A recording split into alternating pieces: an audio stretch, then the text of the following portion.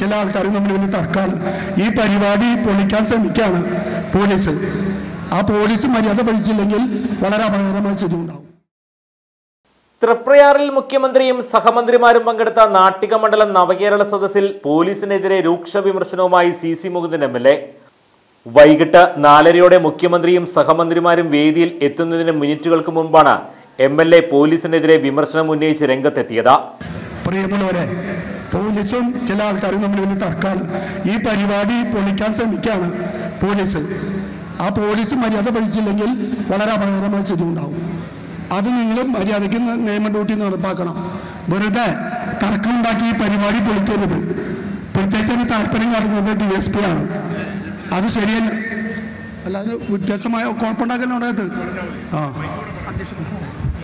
പ്രിയമുള്ളവരെ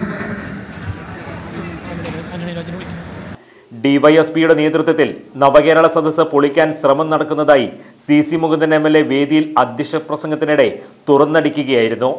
മുഖ്യമന്ത്രിയും സഹമന്ത്രിമാരും എത്തുന്നതിന് മുൻപ് വേദിയിലേക്കുള്ള കവാടത്തിന് മുൻപിൽ പോലീസുമായി തർക്കം നടന്നിരുന്നു. ഏതാനും മാധ്യമപ്രവർത്തകരെ സ്ഥലത്തു നിന്ന് മാറ്റാൻ ശ്രമിച്ച കൊടുങ്ങല്ലൂർ ഡിവൈഎസ്പി എം എൽ എയുടെ പി എ അഷ്കർ മജീദിനെയും മാറ്റാൻ ശ്രമിച്ചതാണ് തർക്കത്തിനിടയാക്കിയത്. നേരത്തെ തങ്ങളെടുക്കുന്ന തീരുമാനങ്ങളിൽ പോലീസ് അനാവശ്യമായി കൈകടത്തുന്നതായി ആക്ഷേപം ഉയർന്നിരുന്നു. എം എൽ എ വിമർശനം ഉന്നയിച്ചതിന് പിന്നാലെ സംഘാടക സമിതി ഭാരവാഹികൾ ഇടപെട്ട പ്രശ്നം പരിഹരിക്കുകയായിരുന്നു.